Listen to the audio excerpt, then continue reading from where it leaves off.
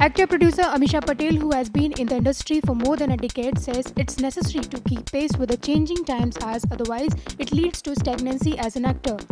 Well, I think everyone goes through phases in life. Yeah. And change is the only constant.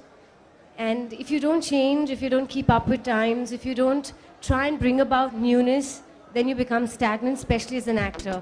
Ameesha, who is a gold medalist in economics, began her career as an economic analyst for a finance company and then later switched to modeling before making her foray into acting in 2000. Ameesha recalls the time when everyone questioned her for making her career in Bollywood just because she was highly educated. You know, when I entered the industry, the one question everyone asked me is, Ameesha, you're so highly educated. You're Rajni Patel's granddaughter. Why would you be here? As if people who are brainless are in this industry. It was so insulting.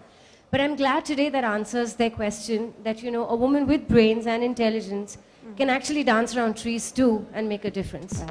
Ameesha made her Bollywood debut with Kaho Na Pyar Hai opposite Hrithik Roshan in 2000. The film was a blockbuster.